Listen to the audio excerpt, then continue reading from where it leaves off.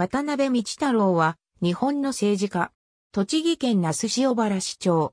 財務大臣政務官、参議院議員を務めた。妻は、栃木県議会議員の渡辺幸子。弟は、新宿区議会議員の渡辺道隆。叔父は、みんなの党代表や、金融担当大臣兼、行政改革担当大臣を務めた、参議院議員の渡辺義美。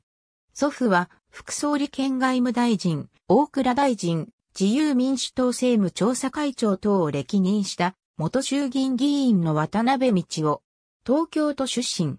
慶応義塾高等学校、慶応義塾大学文学部卒業。大学卒業後、会社員を経て、NPO 法人全国教育ボランティアの会理事、おじで、みんなの党代表の渡辺義美の秘書を務めた。2013年、第23回参議院議員通常選挙にみんなの投稿人で、比例区から立候補し、党内3位の5万253票を獲得して、初当選した。みんなの党が2014年11月19日をもって回答した後、同党所属の議員だった松田幸太らが設立した日本を元気にする会には参加せず、無党籍のままみんなの党から名称変更した会派無所属クラブに残留した。2016年4月、栃木県庁で行った記者会見で、将来的な自由民主党会派への入会や、自由民主党への入党を示唆し、同年8月3日、無所属クラブを退会し、10月7日に自民党会派に入会した。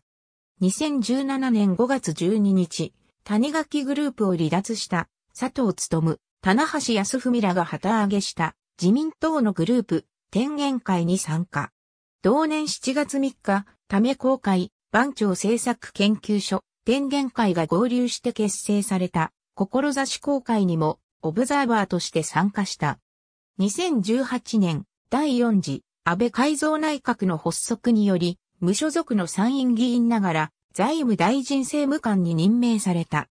2019年4月3日、参議院議員を辞職して4月21日に、党を開票される那須塩原市長選に立候補することを表明した。同月12日に辞職願いが参議院本会議で許可された。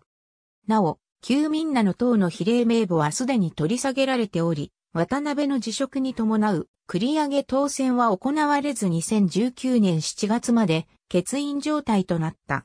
4月21日の投開票の結果、元市議会議長の君島一郎を破り当選。当日有権者数95,514人、最終投票率43.93%。ありがとうございます。